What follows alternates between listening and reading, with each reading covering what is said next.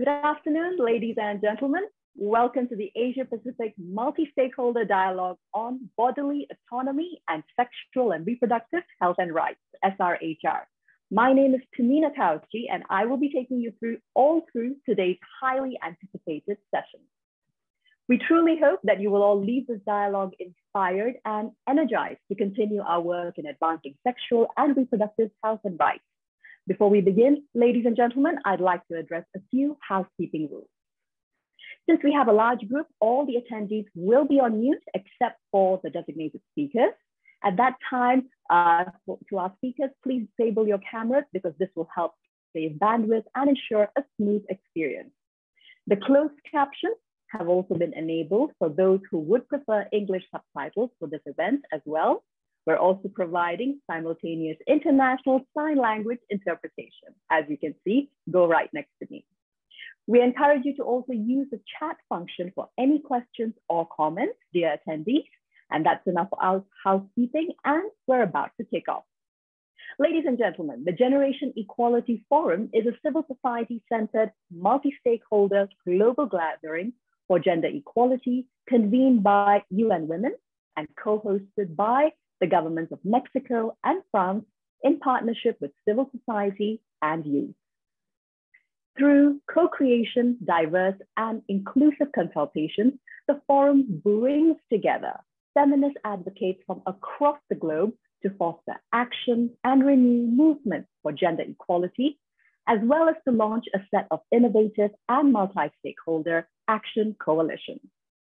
Now, a little bit of background information the Generation Equality Forum commenced in Mexico City, Mexico from the 29th to the 31st of March 2021 and will culminate in Paris, France later this month. As a global movement for urgent action and accountability for gender equality, the forum promotes systemic and transformative change to accelerate the implementation of the historic Beijing Declaration and platform for action and leads to gender equality, resilience, and sustainability in a world still affected by COVID-19. Sign language interpretation for today's session is provided by the Malaysia Federation of the Deaf, MFD, and we're joined by interpreter Sulengo. Ladies and gentlemen, I would now like to call upon His Excellency, Mr. Roland Galharague, French ambassador to Malaysia to deliver his opening remarks. Your Excellency, good afternoon. The virtual floor is now yours. Thank you, Tamina, and good afternoon to all. I would also want to thank the uh, International Planned Parenthood Federation for convening this discussion, which uh, I am very happy to open. France has made gender equality its national priority for the duration of the term of the current president, starting in 2017 till 22. We believe that gender equality is key, obviously in terms of justice and fairness, but also in terms of social and economic efficiency. So while we are pushing this agenda at home, we're also trying to push it internationally through what we call a feminist diplomacy. A feminist diplomacy means that we are trying to mainstream gender equality in all international forums and in all international issues. We did this, for instance, when we had the presidency of the G7. So this is to explain why we have decided uh, to co-host and co-chair uh, the Generation Equality Forum together with Mexico, uh, an event which uh, is convened by UN Women. We were very encouraged by the success of the pre-summit in Mexico in March, and we are now looking at the uh, final summit in Paris at the end of uh, this month, from the 30th of June to the 2nd of July. As you know, uh, the goal of the forum is to come up with concrete, ambitious, and inclusive solutions to key challenges to gender equality. To do this, we are trying to build what we've called action coalitions in six fields, and let me quote them. First is gender-based violence. Second, economic justice and rights. Three, bodily autonomy and sexual and reproductive health and rights, our topic for today. Four, feminist action for climate justice. Five, technology and innovation for gender equality. And six, last but not least, feminist movements and leadership. So when it comes to sexual health and reproductive health and rights, France has identified three priorities to be discussed at the Paris summit. The three priorities are one, the need for a comprehensive sexuality education that empowers young people. For instance, in France, sexual education is compulsory in French schools, but we are still faced with uh, resistances, cultural resistances from the part of some families. So how do we overcome these resistances? The second priority is to improve the availability, accessibility, acceptability, and quality of contraception and abortion services. For instance, what is the impact of the pandemic on the right to access to abortion? Do we need to perhaps extend the delays, for instance, as we did, for instance, in France, we decided to extend medical access to abortion Uh, nine weeks after the last period instead of seven weeks. And the third priority is to identify what is needed in terms of political and social measures for girls and women to gain complete control over their bodies. So how do we fight female genital mutilation? How do we fight sexual harassment and make it uncool? How do we deal with period poverty and other similar issues? So we hope that participants in the Paris Summit will help us come up with positive ideas and proposals to advance gender equality. And we are looking forward to your participation. Thank you very much for your attention, and I wish you a very fruitful discussion. Thank you again. Thank you very much, Your Excellency. A very insightful way to frame the far-reaching impact of achieving gender equality through women and girls' rights to bodily autonomy and SRHR, particularly as globally we are still impacted by the COVID-19 pandemic. Ladies and gentlemen, we, we now move towards setting the scene for the dialogue session that is highly anticipated for today. We will now have the privilege of hearing firsthand from each one of our stellar lineup of feminist advocates and experts. Please allow me to introduce them all at this juncture. Joining us today from all corners of the Asia Pacific are our esteemed speakers, Upala Devi, Regional Gender Technical Advisor with UNFPA APRO. Hello, Upala. Tomoko Fukuda, Regional Director with IPPF East and Southeast Asia and Oceania region.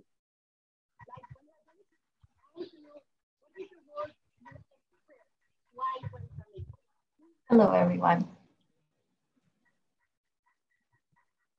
Tomoko is also joined by Sivananthi Thanenthiran, Executive Director with the Asian Pacific Resource and Research Center for Women, ARROW. Good afternoon, Sivananthi. Good afternoon. We're also joined by Suraksha Giri, a youth activist from Nepal. Hi, Suraksha. Good afternoon. Hi. Uh, good morning from Nepal and good afternoon to everyone. Lovely to have you with us.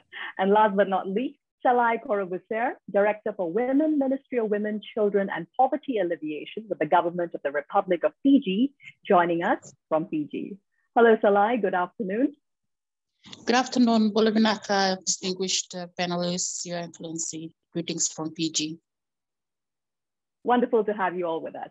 So attendees, just to inform you of the flow and the structure moving forth, we will begin with each of our speakers taking the floor for around five to seven minutes to present their essential work in the arena of bodily autonomy and SRHR, all despite the ongoing pandemic after which I'll have the privilege of leading a discussion on how best to accelerate their transformative work. A note to all our attendees, once again, we welcome your thoughtful questions and comments directed towards the speakers throughout the session, and we will address as many as possible during the Q&A towards the end. The chat box visually on the right side of your screen is naturally for this purpose. A gentle reminder also now to our speakers to kindly mute yourself when you're not speaking. Without further ado, ladies and gentlemen, I'd now like to call upon firstly Upala Devi, Regional Gender Technical Advisor with the United Nations Population Fund, Asia Pacific Regional Office. Now, Upala is based at UNFPA's Asia Pacific Regional Office and is joining us from Bangkok with a vast portfolio of experience in working on development issues over the last 22 years. Upala has spoken at, among various other high profile engagements, the US Department of State, the US Senate, and Harvard's John F. Kennedy School.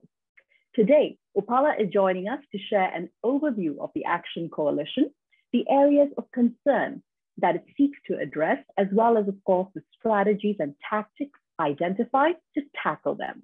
Upala, the floor is all yours.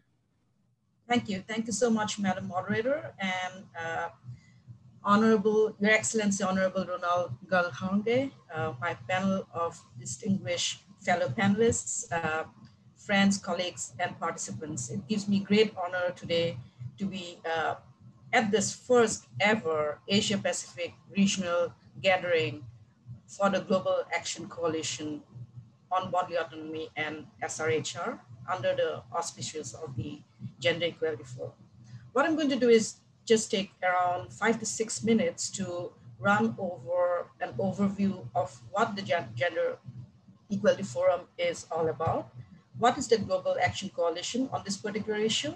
And what do we do in terms of making commitments moving forward? I do have a PowerPoint that I want to share and let's see if I can do it. Uh, okay. So let me go there.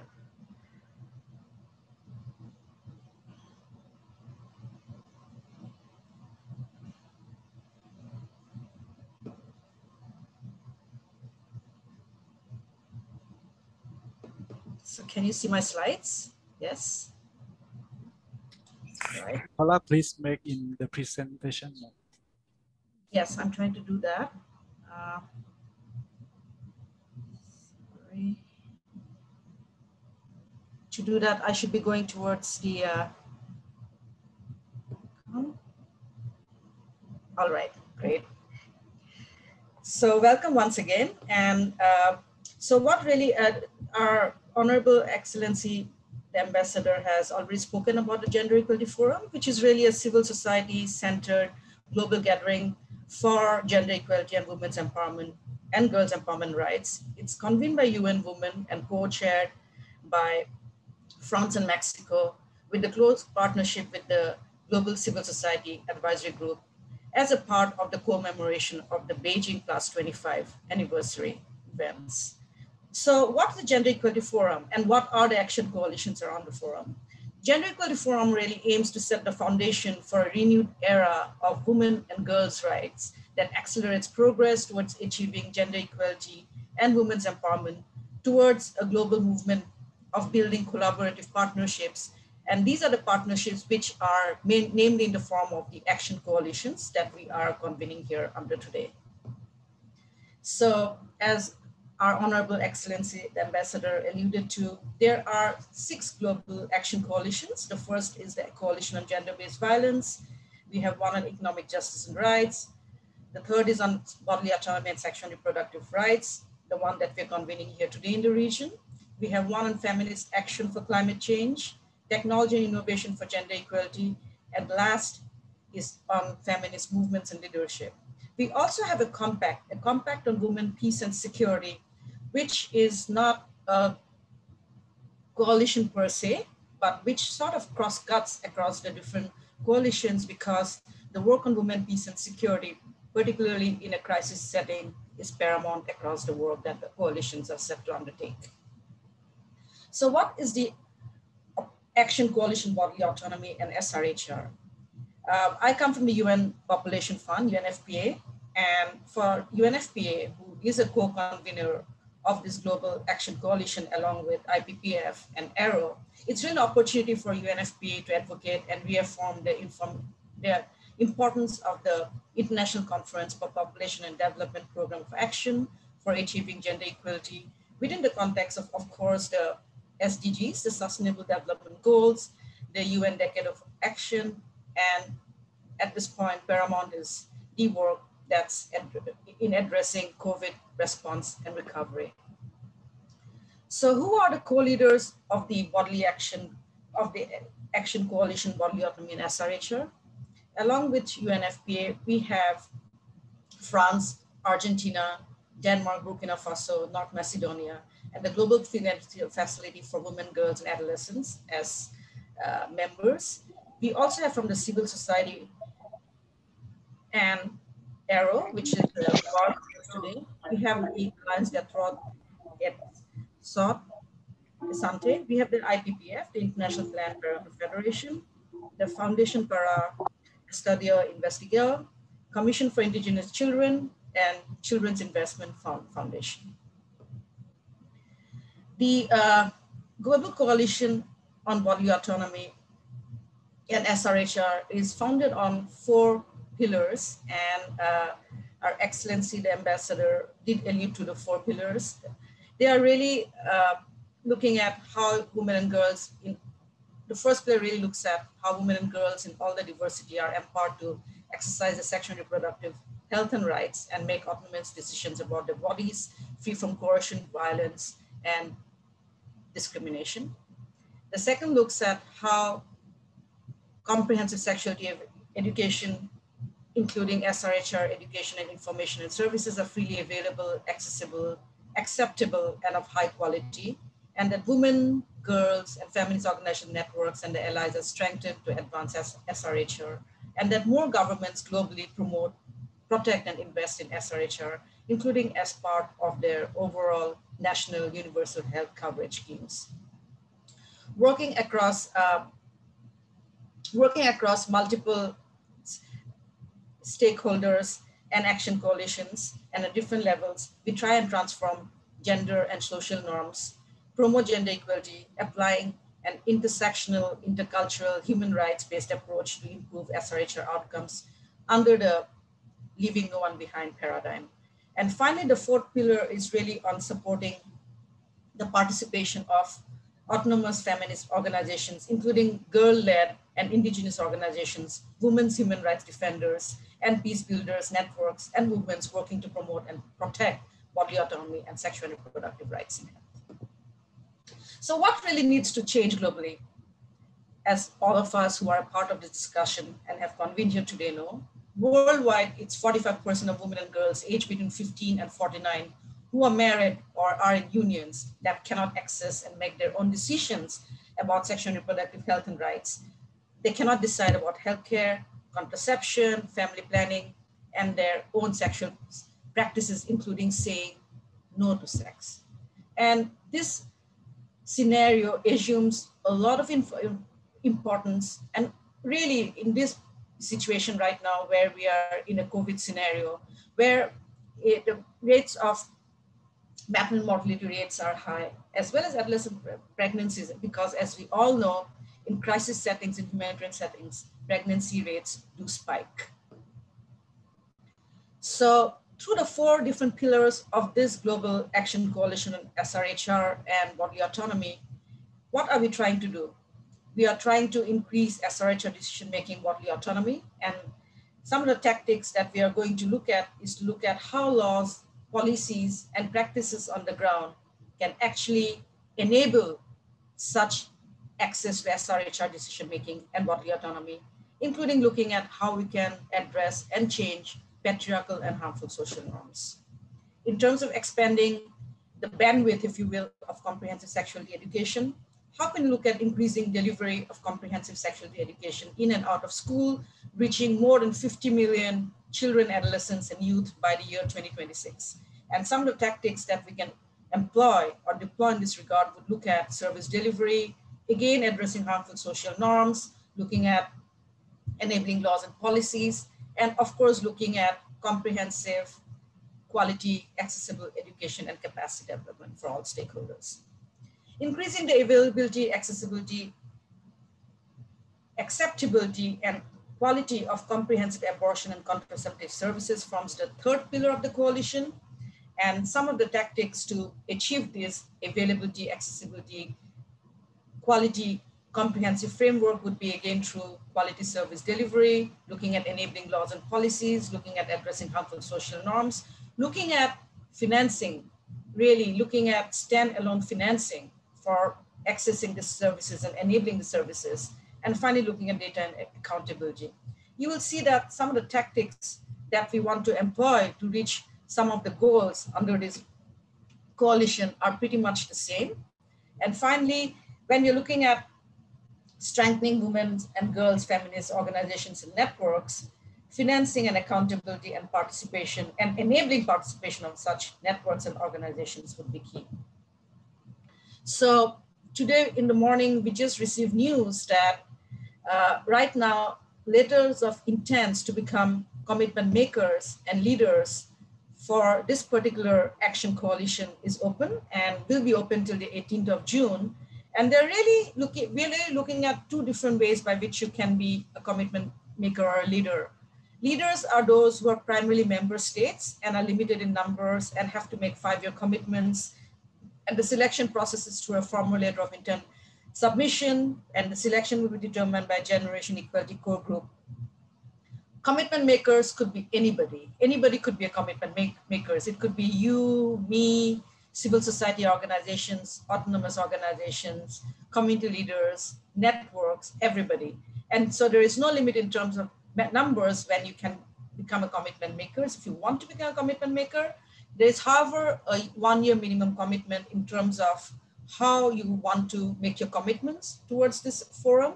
And again, there will be an online submission, which is available on the UN Women website. There will be an application validation process that's going to be managed by UN Women, and the selection will be validated by the Action Coalition's leadership structures. And what will be a commitment maker? What will be becoming a commitment maker mean? It means that commitment makers will be making bold and transformative commitments to one or several of the six other, five other action coalitions.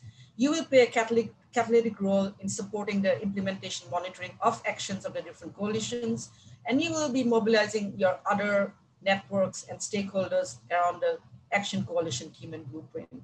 As I mentioned, anyone can become a commitment maker. And when you become a commitment maker, what does it entail?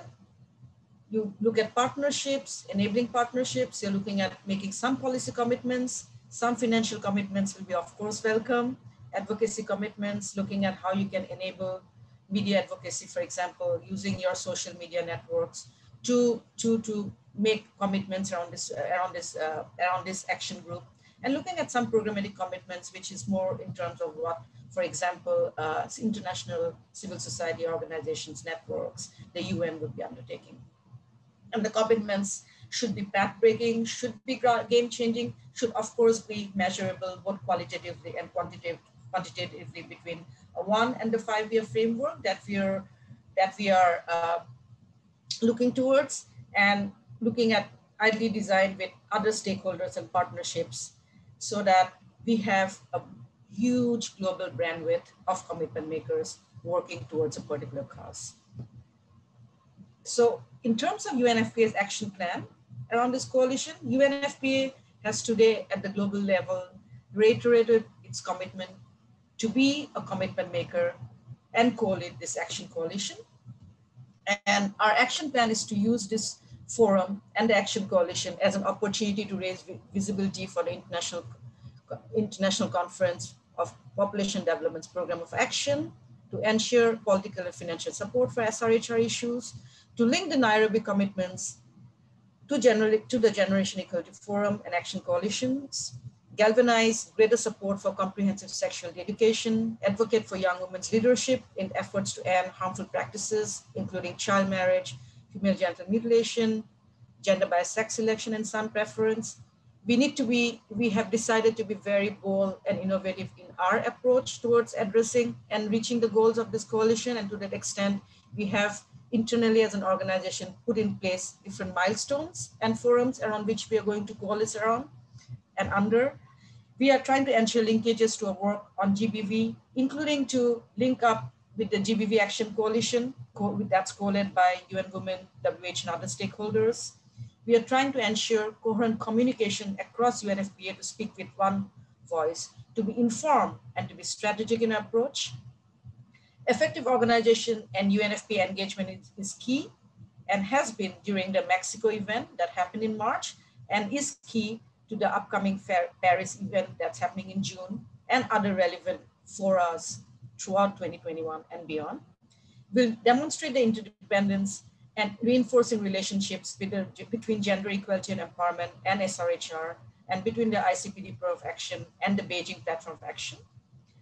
We will position women and girls decision-making and body autonomy under the SRHR SDG target 5.6, which is crucial in reaching UNFPA's three transformative results under a strategic plan moving forward. And of course, all of the work under this action coalition will be grounded and centered around UNFPA's programs, mechanisms, primarily UNFPA supplies, our thematic fronts, our joint programs on child marriage, FGM, and the Muskoka in initiative to accelerate mental health and adolescent rights. I'm not going to go into this slide, but just uh, in terms of the Paris Gender Equality Forum that's coming up at the uh, end of this month, uh, the, the forum looks like this in terms of the sessions. There'll be VIPs. It's of course virtual and there'll be VIPs that are going to do opening sessions, 20 persons face-to-face on SRHR education, movement right defenders. There'll be two hour sessions for each of the six action coalitions. There'll be thematic sessions, actually 18 all, as when we last counted and the call for proposals are currently out. There'll be some events centering around you know, cultural and uh, cultural issues, sports issues, uh, team building, uh, coalition building, and so on and so forth.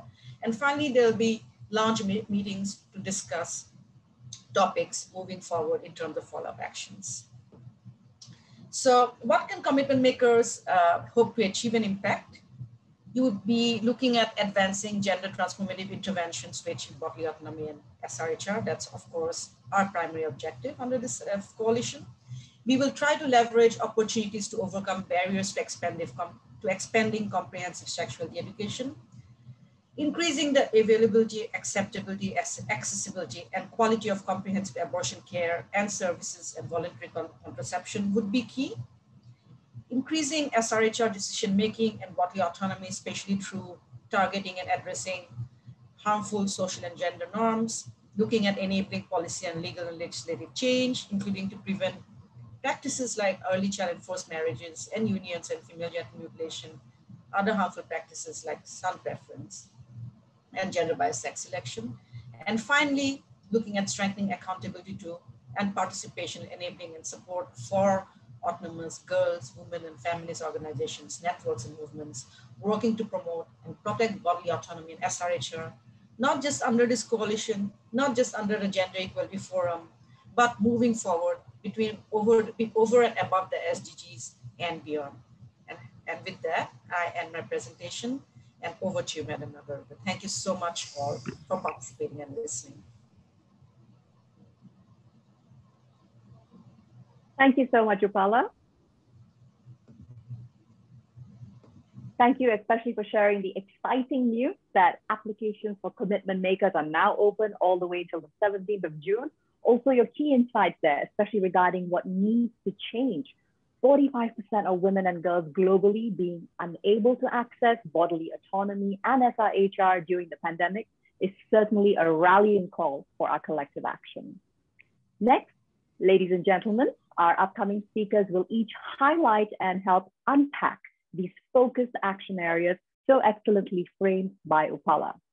I would thus like to invite firstly Tomoko Fukuda, Regional Director with the International Planned Parenthood Federation, East and Southeast Asia and Oceania region, IPPF ACR. Tomoko is responsible for leadership and management for the work of IPPF in the region, supporting 23 member associations and three collaborating partners in a total of 25 countries, all working towards advancing sexual and reproductive health and rights, SRHR. IPPF is also the co-lead of Generation Equality Action Coalition on bodily autonomy and SRHR. Tomoko, um, I would love for you to tell us a little more about the need to focus on contraception and SRHR as part of the commitments to SRHR and bodily autonomy, including contraception, safe abortion, laws, and policies. The floor is yours. Thank you so much for the introduction, Tamina, and uh, warm welcome to all of you who has joined us today. Uh, it's so encouraging to see almost uh, 200 people who have joined us. And I think it shows how uh, deeply we are all committed to advancing the cause. Uh, and this Generation Equality Forum is giving us an opportunity to really push this agenda forward globally and especially in our region. So uh, warm welcome to everyone. And thank you for giving me an opportunity to speak. Um, on, especially around contraception and the need for safe abortion. So uh, what I would like to say today would probably be reiterating some of many of the things that have already been said and many of the things that you have already been thinking about.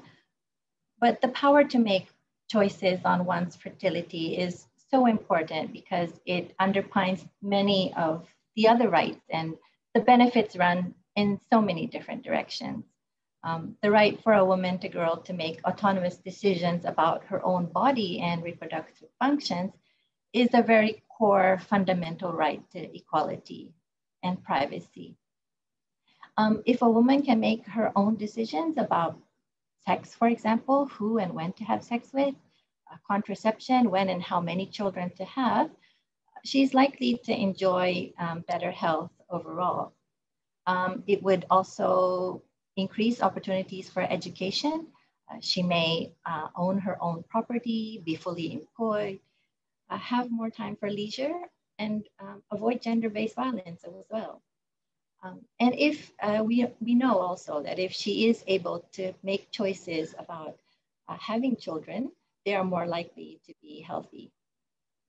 So the power to make choices over their own body links directly to poverty, education, hunger, decent work and economic growth, uh, reducing inequalities, which is a good big chunk of all the SDGs goals. Um, that's why contraception is so central uh, to ensuring the well-being of a woman. And I think we've all also faced now with the COVID pandemic, the worsening inequalities around the world, how it has, we have heard about how it, it has increased sexual violence. Uh, there are new barriers to accessing uh, healthcare. There is job and education losses. Uh, we have seen how it has really changed and impacted uh, women and girls' lives uh, all around. And this has just added to the challenges that we have are facing today in terms of uh, ensuring access to contraception. So what are the challenges that we face? Um, definitely and first and foremost, information is not equally available to everyone. Um, and although we live in a very digitized world now and information seems to be more than abundant, uh, still about half of the world's population is offline and they do not have access to digital information. Um, even for those who are online, this can be empowering, but then the volume and content of information can be overwhelming, it can be incorrect, it can be misleading. So how can we ensure access to credible and accurate information? And this leads to the conversation uh, later a little bit today around comprehensive sexuality education for young people. Um, how do we ensure that uh, young people are able to get the correct accurate information early on in their lives so that they can make informed choices about their sexuality, sex, and reproductive health. Um, and uh, also the challenges that we face are around accessibility is becoming extremely diverse. Uh, I think uh, we, it is not uh, simply said to say in one way or another, but women and girls come in all diversities, uh, their ethnicity, their economic status, the places they live, uh, the situations they're in are extremely diverse. And ensuring access to these services without discrimination is extremely a big challenge that sometimes can go uh, very much unnoticed. People think that it is uh, quite simple, but it is not simple. And I think what we need to do is to unpack the diverse challenges that women and girls face. Uh, and uh, I think this is a part where civil society comes in because uh, we are the ones who are working with the women and girls at the community levels. We know what is the challenges that they face. We know what needs to happen so that they can access these services. Um, that is why it is important for those who are working directly with the women and girls be able to voice and raise these concerns to governments, raise them higher so that the systems can be changed and um, such contraceptive services can be uh, avail available and uh, affordable to uh, everyone. And uh, we easily get caught up in the politicization of safe abortion, um, but I think we must come back to the basics. I think we don't want any woman to have to go through an abortion. That's why we are pushing for accessible and affordable contraceptives so that we can prevent unintended pregnancies. But I think what we are saying is that if a woman, because of her diverse situation, opts to terminate a pregnancy, uh, she should not be told what to do by a government. Uh, she should definitely not be jailed because of it. Uh, she should be given the care and help she needs so that she can prevent unintended pregnancies in the future and gain control over her life. Uh, we know that countries where women have the right to terminate pregnancy and are provided with access to information to all methods of contraception have the lowest rates of termination of pregnancy. And it was really encouraging to hear uh, his uh, uh, honorable ambassador inform us about the decision that the French government made in making medical abortion accessible to nine weeks instead of seven weeks and accessing, increasing um, possibilities of access to services during this COVID pandemic. Uh, so these are the things I think that we, we need to see and uh, see implemented, see actions around in hopes that women and girls are able to access information and supplies in a time, contraceptive services in a timely manner. Um, and we need governments to uh, step up and make financial commitments, make sure that uh, sexual and reproductive health services are a part of their universal health core packages that are delivered to the uh, communities. Um, and of course, we need to see that laws and policies uh, ensure that this is able to happen. Um, there are laws that disproportionately impact women, uh, such as laws that criminalize abortion, um, adultery, or sex work, um, uh, there are also discriminatory laws and policies um, based on sexual orientation or gender identity, migration status, for example. And so uh, we need to make sure that uh, we work and advocate with governments to change these laws and policies to enable uh, a, an environment where women and girls can be supported to access the services. Um,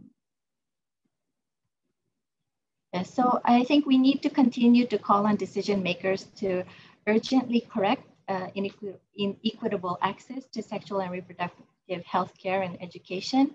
Uh, we need to strike down discriminatory laws that are barriers to the full attainment of SRHR. Um, and we need to bring about real change. And uh, we need a well-informed future generation that would help us to do so.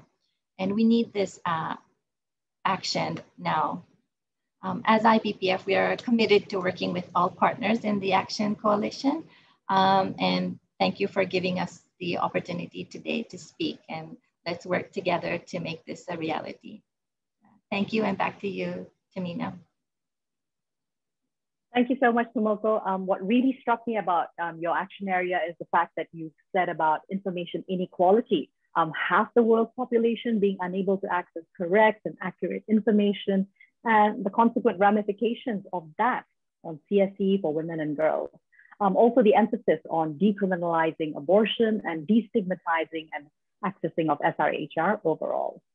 Uh, we now move swiftly, ladies and gentlemen, to our next speaker, Sivananthi Thanenthiran, who is Executive Director with the Asian Pacific Resource and Research Center for Women, or ARROW. Now, ARROW is a feminist organization based in Malaysia and is one of the Generation Equality Forum Action Coalition co-leads on bodily autonomy and SRHR. Siva is a member of the Civil Society Advisory Group to the core group of the Generation Equality Forum.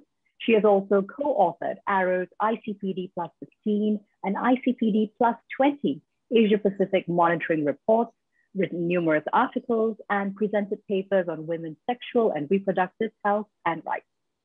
Sivananthi, such a pleasure to have you join us. Uh, we would love to hear from you about creating and maintaining feminist as well as civil society spaces, um, strengthening feminist organizing and participation, plus also the role which feminist and women's organizations can play in accelerating progress, improving accountability and transparency, as well for bodily autonomy and SRHR. The floor is yours. Thank you, Tamina. Uh, thank you, uh, Ambassador Roland, as well as uh, Upala from UNFPA. Uh, I hope that Bjarne is also with us. Uh, and uh, of course, Tomoko and her team for organizing this with UNFPA. ARROW is really happy to be part of this wonderful panel. Uh, and um, of course, I mean, it's a reminder to all of us that the feminist movement has been strongly involved uh, in Beijing, as well as the subsequent reviews of Beijing. But not only Beijing, but there's, we also have the shared common agenda with uh, ICPD or the Cairo agenda as well. So um, the feminist movement has been intervening in this international uh, um, document uh, making processes for almost more than uh, 25, 30 years. Um, so 25 years ago or 26 years ago, the Beijing Platform for Action, you know, when it was launched, you know, it grabbed the imagination of the world and it was, um, you know, grabbed headlines all across the world. And uh, we also hope that that similar momentum is going to be accomplished during this Generation Equality Forum um, uh, the Beijing Platform for Action actually kind of focused on 12 chapters, where there was poverty, economy, education, health, politics, environment, and so on and so forth.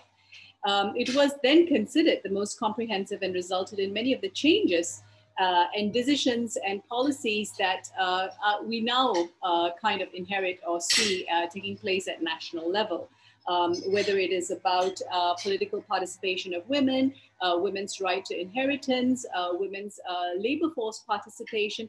These are all economic decisions that have been like uh, influenced by uh, the action items set out in the Beijing Platform for Action. Right.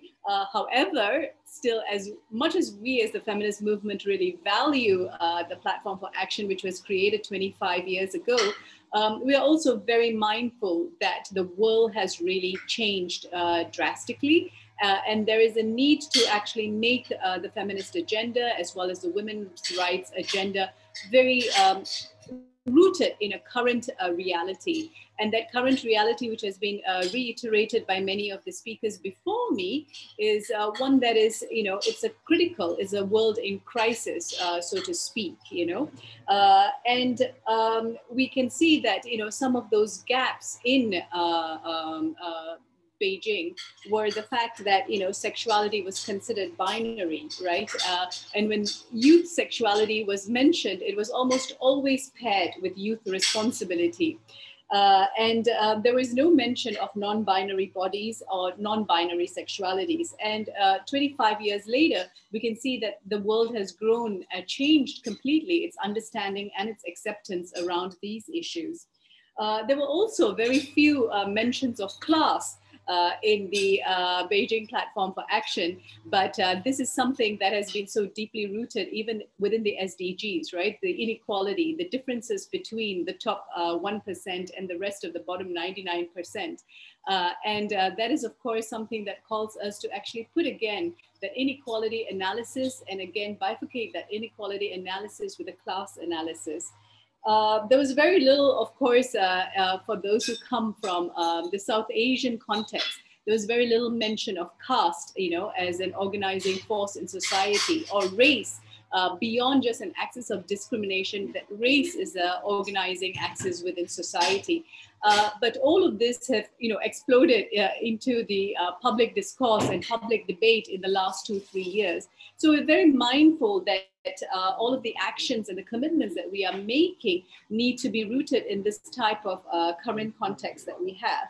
And, you know, and at the, at the root of it or the heart of this uh, action coalition and the actions that the feminist movement hope to see is the fact that you know the emphasis on uh, autonomy the emphasis on choices the emphasis on decision making uh, which are really critical in order to empower uh, women and girls uh, and those who take the identity of women and girls in order to make those decisions about uh, their lives. Because only when we make decisions about our lives can we actually have uh, control over our lives.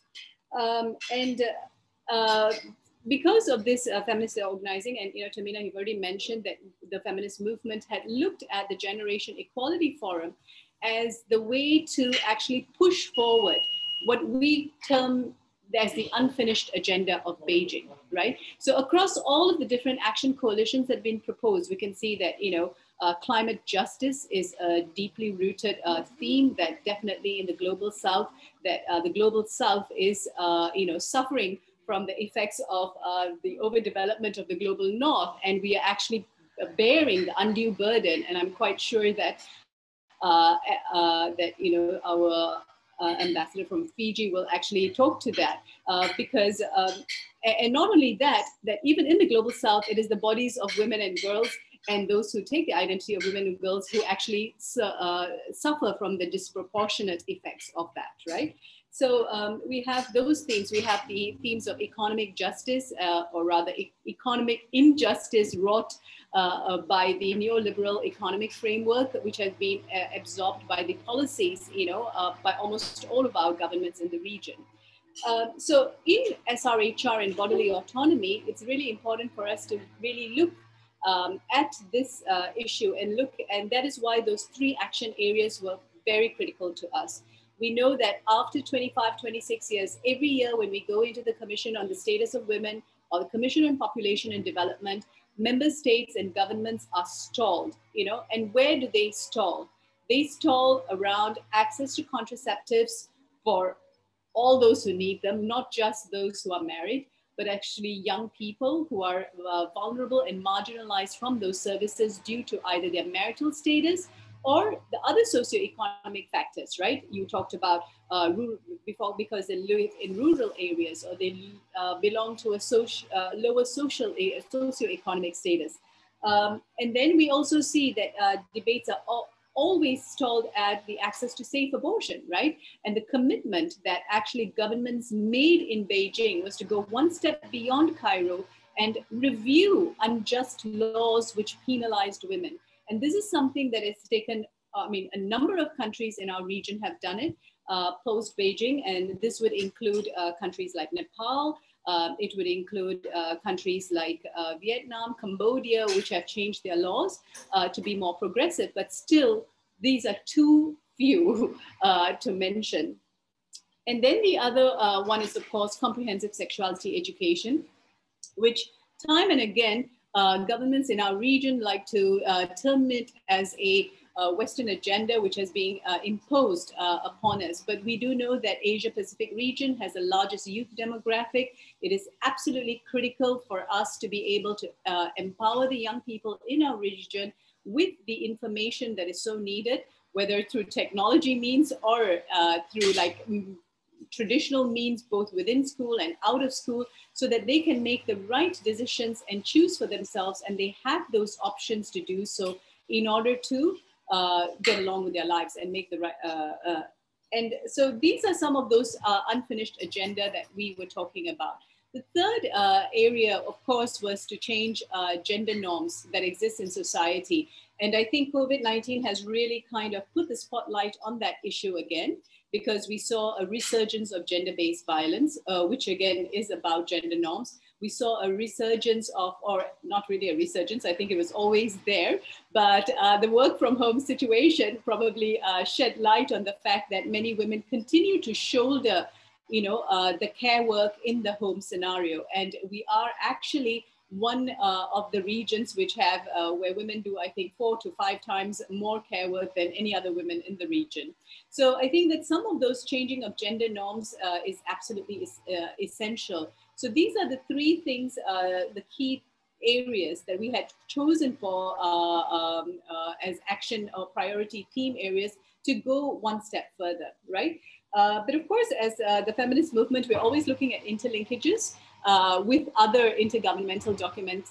and we can also see that how perhaps some of these actions in the Generation Equality Forum uh, things that we are able to actually look at um, uh, setting the standard or helping advance, uh, you know, the Asia Pacific uh, Population Conference, uh, which was held in the region. A midterm review was held and as an indicator framework for actually all of the uh, countries in the region to kind of um, adhere to and to look at how we can make movement in the region.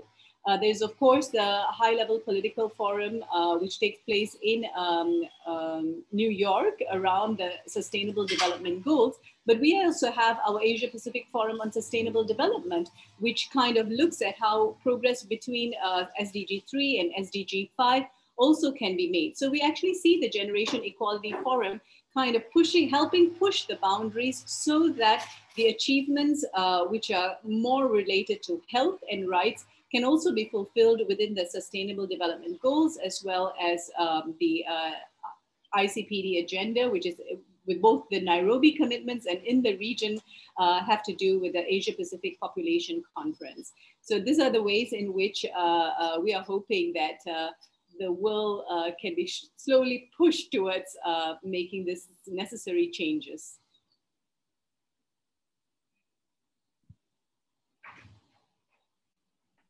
Thank you so much, Sivananthi, for um, correlating the interlinkages of discrimination, all absolutely spot on. Um, it's so true. We've grown and changed incredibly as a global community from ICP Beijing more than 25 years ago to today, actually conscious of intersectional discriminations and working towards addressing each one of these unfinished agendas. Um, COVID may not seem like a silver lining of any sort, but at the same time, it has definitely highlighted all of these discriminations, making it much more likely that this may actually be resolved during our lifetimes. Um, from there, ladies and gentlemen, we move on to our youth advocate, Suraksha Giri, a youth activist from Nepal. Now, Suraksha is an active youth volunteer and youth champion with the Family Planning Association of Nepal, FPAN, the Palpa branch, since 2014. Um, she is currently a member of the IPPF Board of Trustees and an executive board youth member with FPAN Province 5. Her work focuses on reducing abortion stigma, providing easy access to safe sexual and reproductive health services. She has taught comprehensive sexuality education, CSE, in several schools, youth clubs, and participated in numerous awareness programs aimed at teenagers and women from underserved communities. Suraksha, um, given your hands-on experience and as a young person, why do you feel the action on CSE is such an important part of this specific action coalition? The floor is yours. Thank you, moderator uh, Tamina, and uh, namaste everyone from Nepal, His Excellency, uh, Excellency panelists and everyone attending uh, from around the world. And um, first of all, I would like to take this opportunity to thank UNFPA, IPPF, and Generation Equality Forum for having uh, me as a panelist in the, today's program with such an honorable personalities. And um, yeah, to answer this question, let me take you together to uh, the journey of my teenage when I was a young girl studying in class eight. And back then I got an opportunity to be part of a comprehensive sexuality education program, which was given by Family Planning Association of Nepal. So it works under the umbrella of IPPF, International Planned Parenthood Federation and um, as one of the member association and uh, they have been providing this education to schools out of schools uh, youth clubs um, and many more. So since a very long uh, time in collaboration with uh, health and population teachers and uh, in support with FPAN field workers followed with the cascading model so um, by the year, it has also been subsequently added to the course as well.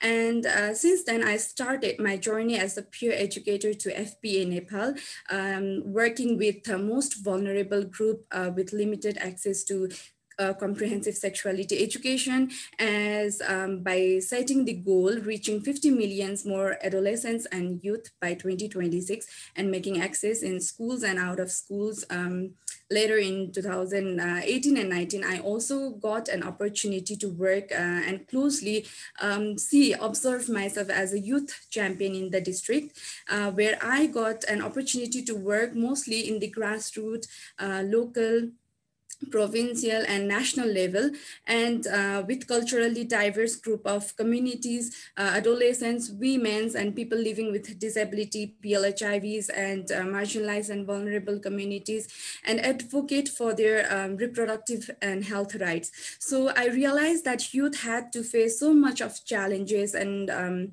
were stigmatized for seeking health services uh, back then and um, still it's now. And um, yeah moreover their views were not addressed and they were excluded from decision making part. And i found out that lgbtiq plus communities had to face a lot of discriminations and negligence in every sectors that may be health education getting citizenship or love relationships and many more. So i want to share you a small case um, which i remember. Uh, there was a girl from marginalized community who was just 14 years of age and was uh, unknown where to seek help for um, abortion services. And uh, one of her friend who was our peer educator brought her to FPA where uh, the doctor found out that uh, it was already 13 weeks of pregnancy and she was scared and she explained how she was like unknown of um, all of these and had no idea of uh, comprehensive sexuality education. And uh, luckily from the Zonal hospital with her parents uh, she got the second trimester service from the help of um, fpan so later she continued with her studies as well um, um, she also joined as a peer educator in our organization. So other case was also a case of a student in a rural area who were like unknown about uh, even a minor health and reproductive information despite being a student of secondary um, level uh, class and because uh, the teacher had skipped their these topics. So this kind of real story touched me and tells that there are so many gaps in the countries, not just in Nepal, but now as working uh, as a board of trustee in IPPF, uh, working globally, I now know that there has been a gap in many developed and developing countries as well around the world. So children are still unaware of good touch and bad touch and um, should know that it comes under the uh, CSE education and uh, how important it is. And obviously we should overcome all of these challenges and I believe together as a youth we can. So um, to support us, I would like to humbly request to the planners, activists, investors, global parental organizations like UNFPA, global health organizations such as UN, WHO, um, government and health assistants, and different type of coalition partners, CSO and stakeholders in sensitizing and to addressing the gaps uh, to make access uh, of CSE in the uh, poor, marginalized, socially exclusive, and underserved communities. And um, for this, obviously, we need some strategies and me at, as a youth just can recommend some tricky uh, ways for this such as to make access of comprehensive sexuality education by conducting more and more trainings uh, to the youth groups and advocating to integrate CSE in the formal education curriculum as well. Secondly, uh, making the youth-friendly services, health delivery centers, uh, make available services in the morning and in the evening time, as well as in the um, holiday time as well, because they're the school-going um, youths and adolescents, and um, they don't get time maybe during the daytime, and they they have been highly stigmatized. So they they might uh, be yeah searching for such kind of service and uh, third as a production of audio and visual learning materials as uh, and also in the braille lipis uh, to differently able people. And um, fourth would be um, yeah, collecting different ideas and perceptions of um, culturally diverse communities would be very effective for CSE uh, to realize as an important part of life. And fifth would be globally uh, advocating CSE in the music and sports as youth loves it. And uh, in today's generation, they are more into it. And in the spatial tournaments by applying different methods. Uh, and the final, last but not the least, disseminating CSE by advertising in most um, popular social medias uh, that youngsters follows uh, these days, uh, such as Facebook, Twitter, Instagram, etc. So, um, so here now, I call on a young people to play an active role in advancing the gender equality and reproductive right as a church barrier of ICPD and global goals. And having said Um, to summarize in one sentence as my quote, I would like to say that um, if we stand in solidarity and uh, be one voice, we can achieve our goal uh, by 2026. Thank you so much. Thank you so much, Suraksha. CSE is definitely such an essential element in ensuring girls' bodily autonomy and SRHR. Your rationalizations and evidence-based observations are priceless. We also really appreciate your heartfelt sharing of use cases, um, the critical gaps and life-changing impacts of having timely access to SRHR. From there, ladies and gentlemen, we now move on to our final speaker before beginning the panel discussion with all of the speakers before. I have the pleasure now of introducing Salai Corbusier, Director for Women, Ministry of Women, Children and Poverty Alleviation with the Government of the Republic of Fiji. Salah, ladies and gentlemen, has served in a number of agencies within the Fijian government. Her areas of expertise are in research and policy, planning, human resource training, and development, productivity, and excellence. She has worked extensively with programs that promote disaster risk management, women's development, and gender equality. Um, Salai, we would be so fortunate to glean your insights on making and keeping commitments to gender equality particularly the role played by your government in making commitments to the cause of SRHR and gender equality, as well as to strengthen gender responsiveness of the COVID-19 response and recovery process. The floor is yours, Salai. Thank you, uh, Madam, Madam Moderator Bula vinaka, and greetings from uh, Fiji. Um, allow me first to start by wishing you and your loved ones uh, good health uh, this evening. Um, so excellencies and distinguished fellow panelists and guests, um, I'm honored to be part of this important panel uh, of the Asia Pacific Multi-Stakeholder Dialogue on Bodily Autonomy and um, SRHR, and of course, um, uh, its response and recovery. So on behalf of uh, the Fiji government, I would like to extend our appreciation to um, IPPF and UNFPA through our Reproductive and Family Health Association here in Fiji uh, for their continued partnership and support and helping us move forward uh, towards the goal of gender equality and of course the empowerment of all women and girls, not only in Fiji, but in the Pacific. I guess uh, by now most of us would have experienced firsthand how um, COVID, the COVID-19 pandemic has impacted our lives, our ability to leave home, work and to, uh, to go to school or to access public and health and social services. For me, um, I had to make special arrangements to be part of this program uh, as uh, working from home would not allow me to um, participate in such um, virtual uh, discussions. But I'm, I'm really fortunate and I'm honored to be part of this program. And of course, we know these impacts are not the same for everyone for Fijian women, uh, uh, Fijian women here are making significant and critical contributions to um, address this uh, COVID-19 pandemic in Fiji as key frontline responders. And this is um, counting doctors, the nurses, the lab workers, the midwives, social workers, even the hospital cleaners, the market vendors, our supermarket clerks, the quarantine workers, and primary caregivers at home.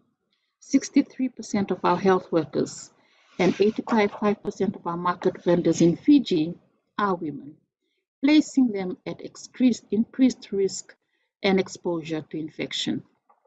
For us, women in Fiji are also overrepresented in the sectors and jobs which are hardest hit by uh, the COVID-19 pandemic the tourism and hospitality industry, uh, retail, handicraft, manufacturing, and the most common, uh, most vulnerable types of employment with the least protection, such as workers in the informal employment, including the self-employed, our domestic workers, daily wage workers, and contributing family workers. You will know that global data confirms that since the outbreak of um, the COVID-19 pandemic, reports on violence against women and girls, particularly domestic violence, has increased across the world. In Fiji, there has been two, there has been to a significant and alarming increase in calls to our domestic violence national helplines. Uh, Fijian women and girls, like other parts of the world, have unique, unique health needs over the, their life cycle, but they also and they also have limited access to quality health um, health care counting sexual and reproductive health and rights, the services and information, access to the information, reproductive cancers are diagnosed and treatments, uh, treatments and others. The restrictive social norms that we have and gender stereotypes also limit Fijian women and girls their ability to access these health services. Uh, these um, pre-existing limitations at the time of COVID-19 pandemic has, without a doubt, um, affected quality and the, and the availability of sexual and reproductive health rights services, placing women, adolescent girls, and the most uh, as most vulnerable and at risk. I would like to highlight that the Fijian government recognizes that the gendered impact of COVID-19 um, uh, um, and we is prioritizing the importance of gender responsive national response and recovery plans in fighting effects uh, our the Department for Women under our Ministry of Women, Children and Poverty Alleviation has been working closely with uh, stakeholders and I would like to acknowledge uh, uh, what the distinguished um, panelist um, Tomoko uh, mentioned in her discussion, the, the, and um, recognizing the critical contributions of civil societies and NGOs who have worked with and are working with the other grassroots women and girls. And it's critical also for government to hear and listen to civil society organizations. So for us here, uh, for the Ministry of the National Women's Mach Machinery, uh, working closely with the relevant stakeholders in advocating and coordinating responses uh, that meet immediate needs of all, all women and girls, including SRHR issues and our work to ensure that we reach those left furthest behind, also while safeguarding and leveraging gains made on gender equality and women and girls' rights. So uh, for us uh, at the National Women's Machinery, working with them, coordinating with them, uh, listening to them is critical. As, as I said, at the, in Fiji, the National Women's Machinery is quite small. So um, uh, it's critical that we reach out and listen to our, our partners that work with uh, the grassroots women and girls.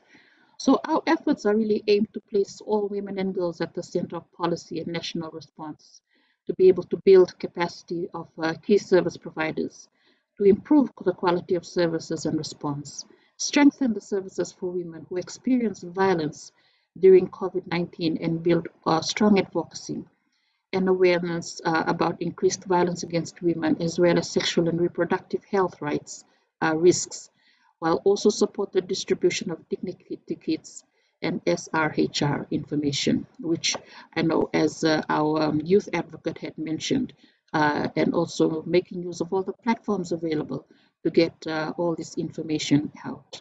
So some of the key actions that uh, Fiji has undertaken uh, has included the, uh, the formation of a gender and COVID-19 working group and the development of a gender and COVID-19 guidance note, which has been noted by our Fijian cabinet and highlights the gendered impacts of COVID-19 in Fiji on selected sectors and the important issues such as SRHR and violence against women and girls with brief analysis. We also saw the formulation of a gender-based violence working group under our safety and protection um, cluster system here in Fiji. Uh, and this is, of course, to rapidly advance prevention and response against violence uh, um, on violence against women and girls. So the GBV working group rapidly has developed information, education, and communication materials uh, such as resource kits and virtual trainings for our frontline healthcare workers, community workers, and healthline, uh, social welfare, and other frontline GBV uh, responders. So this is some of the works that we felt was critical, especially when people were uh, working from home or under uh, lockdown uh, and they couldn't move. So accessing this information was was also critical, even getting them, giving them awareness on how they can um, access services through just a phone call or messages. So during this process, we were reminded, uh, one, that no single act or intervention can address the entire range of issues that contribute around women and girls' health and safety, and SRHR in particular, in the context of COVID-19. Two was that there are data gaps that accurately um, uh, reflect the realities and complexities of women and girls' lives uh, that, and this is, of course, what we see uh, um, is a hindering challenge. On that note, uh, and in conclusion, I would like to underline that data and evidence for us here in Fiji remains one of the most critical gaps uh, for planning and implementing and reporting on women and girls' sexual and reproductive health and rights issue, not only in Fiji again, but also in the Pacific. We need to be able to collect and use data to change attitudes to inform policies while moving towards achieving the goal of gender equality and, of course, the empowerment of all women and girls. Thank you. Thank you so much, Salai. We truly appreciate your presence and also highlighting the multifarious gendered impacts of COVID-19 on Fijian women, not only with regards to bodily autonomy and SRHR. As you mentioned, 63% um, of health workers, 85% of market vendors are women in Fiji. Women also form the core of sectors hardest hit by the pandemic, retail, tourism, and related industries, the informally employed. Um, regionally and globally, this also does resonate. Such statistics will show up similarly and repeatedly some real food for thought there. And uh, we also at this juncture hope that our attendees are keying in with their thoughts and questions for our speakers. Ladies and gentlemen, let's now welcome back all our speakers joining us for the panel discussion on the main screen. Welcome back, everyone. Upala, Tomoko, Sivananthi, Suraksha, as well as, of course, Salai.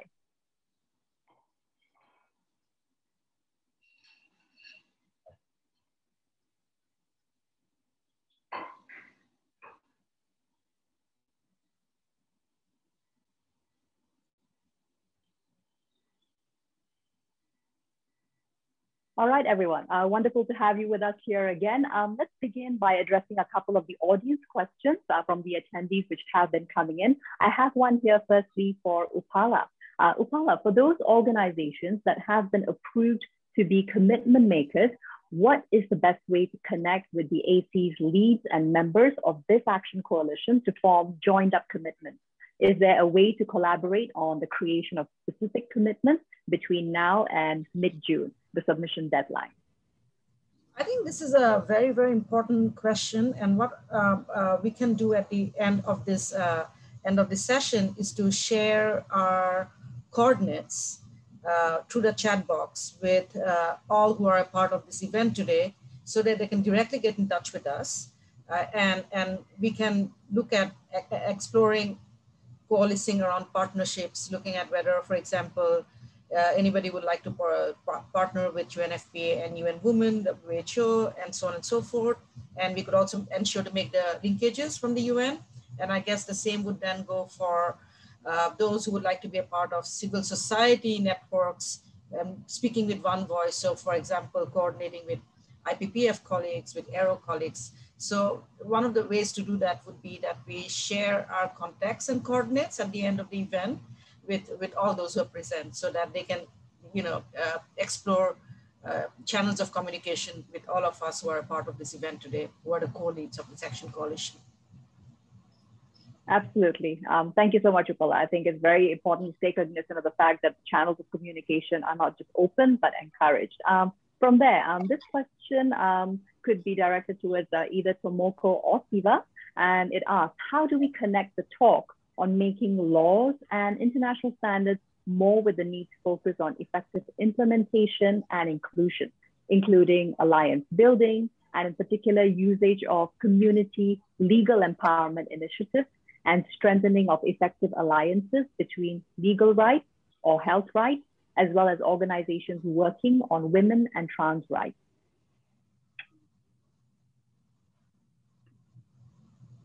Tomoko, do you want to go first or do you, should I go first? Either or is fine, ladies. Yeah. So um, definitely, this is something that uh, um, is really critical because um, as NGOs, we all work with utilizing international standards as well as legal frameworks in order to hold governments accountable, right, to the rights of uh, citizens. Um, and I think that uh, there have actually been a lot of uh, work being done around community empowerment initiatives.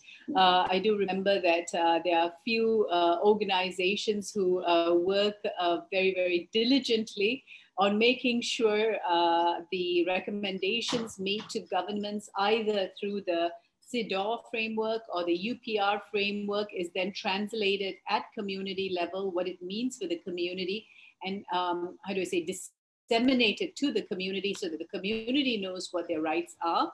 Uh, and as well as holding the government to actually reporting on the progress towards that you know so i think that that's where uh, some of uh, the dots can be connected between um, all three um, I feel like uh, definitely, uh, you know, uh, we have not, uh, I mean, all movements, all organizations may not have been uh, inclusive as we uh, would have hoped that we could be, right? so definitely in the global north, we can definitely see a cleavage between perhaps the feminist organizations or the women's rights organizations with trans-led organizations, right? Um, and even within uh, the SRHR movement, there's always been like uh, more conservative elements who have not, not always been uh, on access to safe abortion uh, based on uh, women's right to choose. You know, so uh, I think that almost always that alliance building needs to be geared towards holding up the highest standards and the highest values and the highest principles around sexual and reproductive rights. Uh, and for that, a lot of conversation, internal conversation also, you know, may need to take place in order for that to happen. So yeah, that's all mine. Thank you. Thank may... you so much, Siva. Absolutely. Please go ahead, Simone. Okay. Uh, to, to build on what Siva uh, has just mentioned, and uh, I feel like uh, in the SRHR community, we get together when we have big events like this. So we're now here together towards the Generation Equality Forum, but we lack the platform and to come together at national levels and regional levels on a regular basis. And so linking to this uh, question around alliance building, I think this is extremely key, uh, as also Siva mentioned, for us to be able to be a one voice at the national level. If we work in our own space and we do work with communities, but if we don't have that access and channel to governments, how can our voices then be translated into policies and systems and strategies? So uh, that alliance building, I think, is lacking. And I think we also need to collectively work with uh, potential donors uh, globally or in the region to really fund and provide financial support to uh, women's groups, feminist groups, uh, organizations who are working in this space of SRHR um, to build platforms and uh, alliances for SRHR. So when I look at uh, myself and the work we do in IPPF, uh, we are a federation of member associations uh, across 25 countries in, in East and Southeast Asia. And then with my colleagues in South Asia, we are, we're more than 30 countries uh, in this region. But why just link together member associations? Uh, why not IPPF be the platform to bring together everybody working in this SRHR space? And because the issues are so diverse, we have many, many different organizations working in SRHR, which are small voices alone. But uh, as Suraksha mentioned, when we come together as one voice, we are an extremely strong voice towards governments. So uh, I think this is extremely key and something that we should, we could all work together and actually materialize in the coming year. Absolutely. Thank you so much for that, Tomoko. The diversity of experiences and organizations now really is the time to bring that all together as uh, literally a behemoth towards actionable change. Um, from there, I have a question for um, Suraksha. Suraksha, um, delivery of CSE continues to be a challenge and more so during the COVID-19 pandemic related restrictions. Um, how has this affected you and what support do you as a young person need in this time? Yes, thank you so much, uh, Tamina, for this question. Yes, of course. Um, like you said, uh, youth has been very much affected uh, due to this COVID and SRHR, they have been affected in um, getting access to health services and uh, getting, um, you know, safe abortion sites or uh, getting contraceptions and many more. And um, yeah, so this has been a challenge for sure. And uh, for, um, for people like um, people living with HIVs and disability and LGBTI communities, they have been affected most mostly because of this COVID, what I um, found and what I like um, researched and when I went through uh, medias and all. So um, yeah, so we as an IPPF member, we as a family planning association and other civil society organization, we have been uh, addressing such problems and we have been, I know that um, it's very hard for us to just um, go and work now. And me as a youth advocate, it is very hard for me to as well just uh, go and work outside. But then still the frontline workers who are um, really working hard for this to provide uh, them with uh, safe um, access to everything, whatever they're in need of, and um, just uh, respecting their rights and decision making things and everything. So they have been working so hard uh, to get on this um, and uh, protecting their rights and um, and huge uh, round of applause to such kind of front uh, uh, frontline workers. They have been working so hard, and uh, other civil society organizations and many of the advocates right now they have been for sure, such as like Sangitai, he's here, who is in UNFP, uh, and many other YPR and Yuva and um, Visible Impact and many more organizations. They have been working so hard in this situation to um, do the online uh, educations for And provide the education for um, disability people with, um, you know, uh, with um, sign languages and many more. Even, even in this situation, they have been working so hard. And um, I've been part of that and you know, representing and talking about my country and uh, representing globally. So we have been doing such kind of programs and we have been addressing the voice of um, LGBTI plus Q, uh, Q plus communities. And we have been addressing the voice of um, uh, HIV, uh, people living with HIV, uh, people living with disability. And yeah, we have been addressing everyone and re, um, just uh, we are requesting to government and we are taking this voice of them to the government to um, take some actions and yeah, for sure we'll need um, a lot of patience over here, but still, um, despite of all of these situations, we have been working hard um, to be together. Yeah, thank you so much.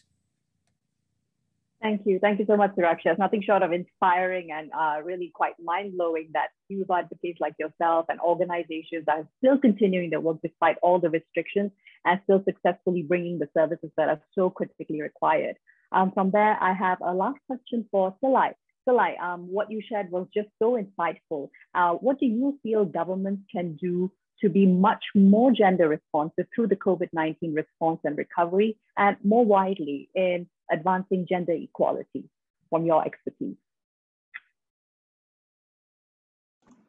Thank you, uh, uh, Madam Moderator, and thank you for the question.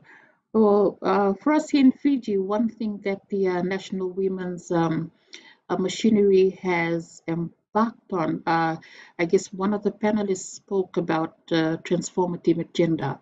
And uh, for us here in Fiji, that's really uh, what we we've we is one of our big um, initiatives with the whole of government approach in transformative institutional capacity development. And uh, in, in order for us to be able to uh, have a whole of government approach, this was critical for us. And we're piloting nine agencies in Fiji at the moment uh, to have this uh, transformative um, uh, in, uh, institutional capacity, gender transformative institutional capacity development. So that that would be one way where we could see that there's a coordinated effort. And um, in, in doing this, it's not just uh, the National Women's Machinery uh, conducting short-term uh, training and awareness programs, but actually uh, developing officers within these agencies to have that gender perspective uh, uh, in conducting um, gender mainstreaming and looking at their programs and policies that would support the, the empowerment of women and gender equality. And we've focused on quite a number of uh, key agencies across government, starting with uh, uh, and looking at the various sectors. So that that is one way that we feel, and of course, not uh, not only that is whole of government, but also strengthening the, the consultation and collaboration, as I mentioned uh, in in in my panel discussion, uh, the collaboration and consultation with CSOs and NGOs, and having them as critical partners in, in the work that we undertake. Thank you.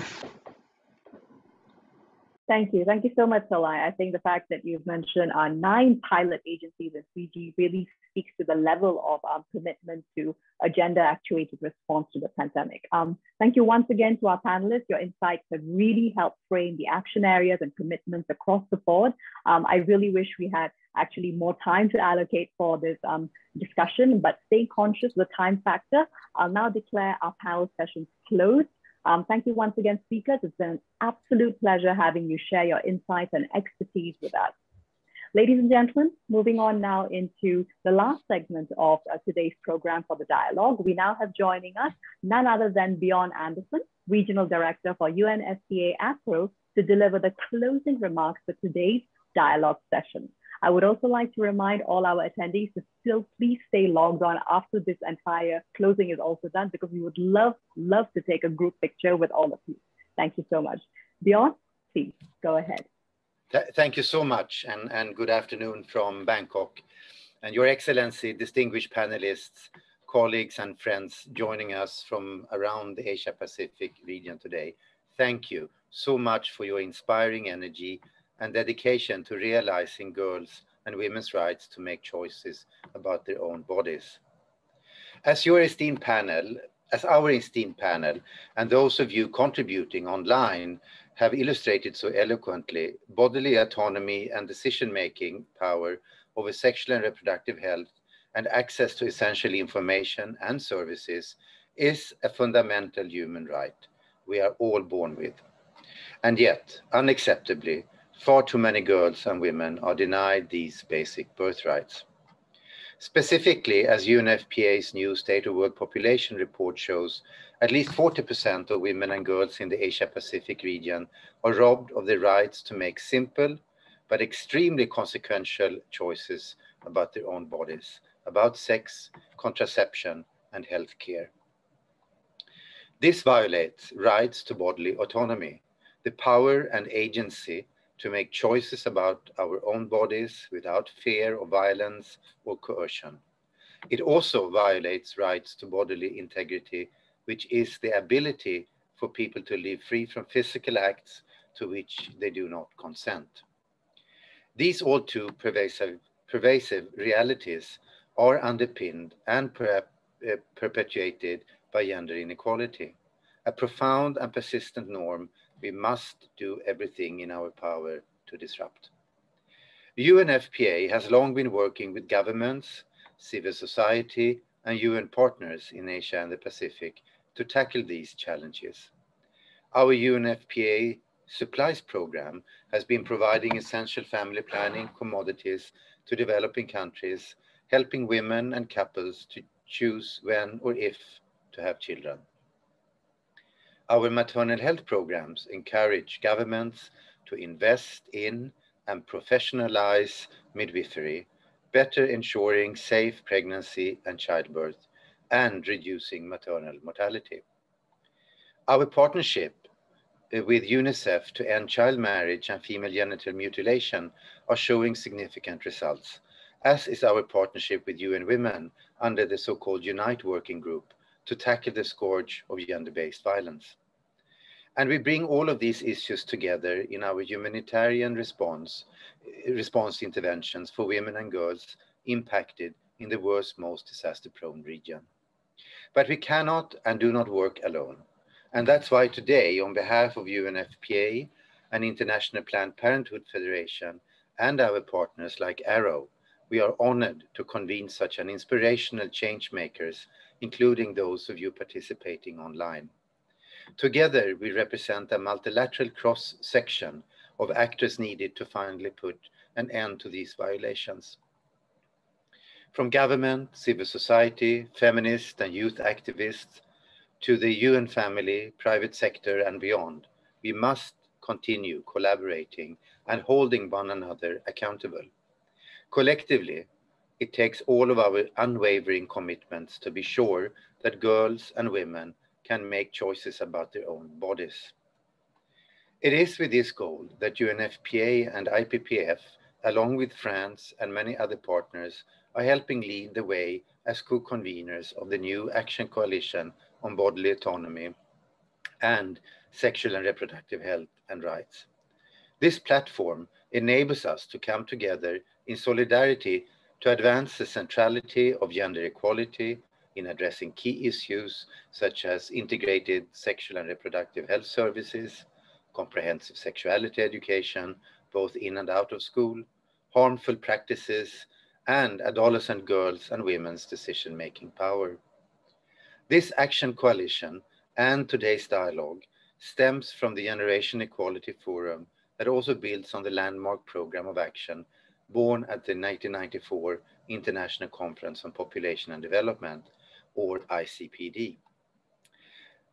And may the, genera may the Generation Equality Forum and Action Coalition on Bodily Autonomy and Sexual and Reproductive Health and Rights inspire all of us to do even more of what we are doing here today and within our respective spheres of influence and the communities with which we work.